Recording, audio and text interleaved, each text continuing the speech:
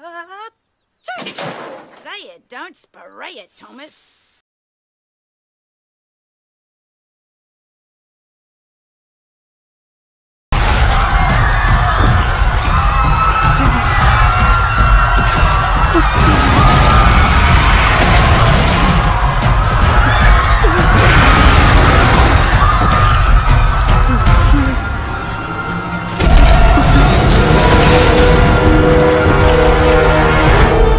Reality of the situation sunk in, government forces were deployed.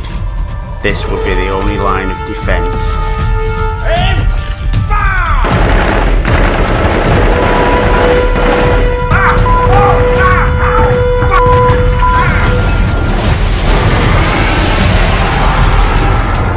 But Project G1 was more than capable of defending itself and would take whatever action was necessary.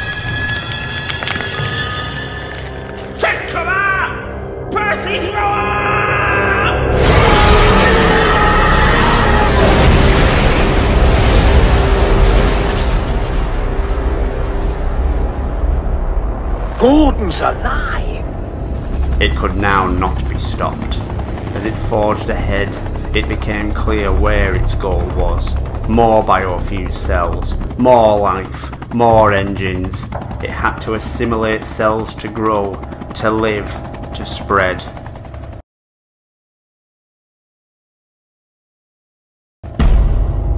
Blue Mountain Quarry. The site of thousands of tons of dead, desiccated biofused matter, hidden from the outside world. A rich source of matter which would make Project G1 indestructible.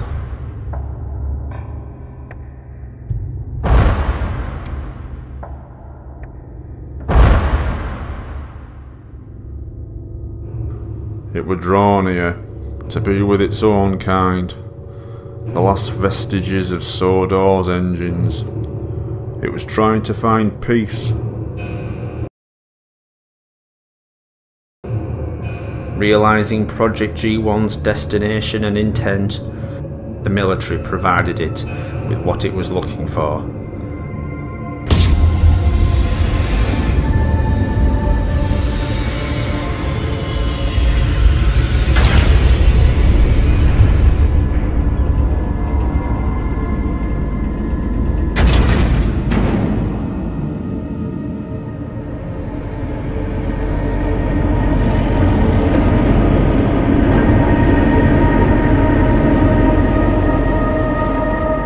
Last engine whose fate everyone had asked about for years.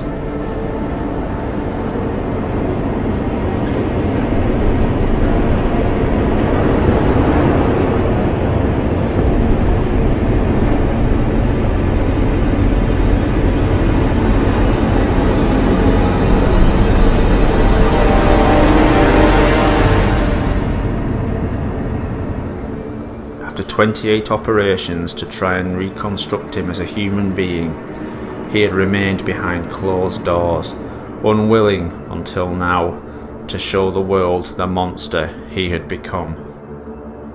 That wasn't the Thomas I knew. That wasn't an engine or a human. It were a creature mutilated by surgeons and engineers alike. Unable to react to the outside world at this stage, Thomas was the last chance the military had to stop Project G1.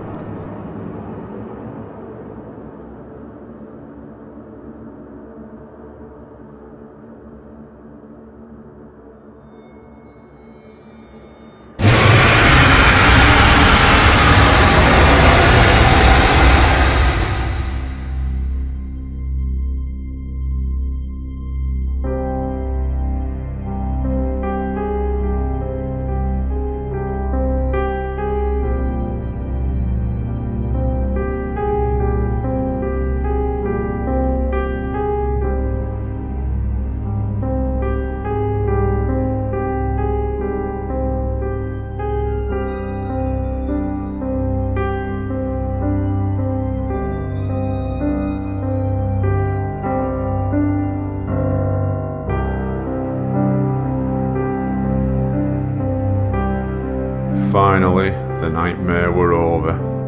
Thomas had found the remains of his friends. His friends had found him. Sodor Island's favourite sons would finally be at peace.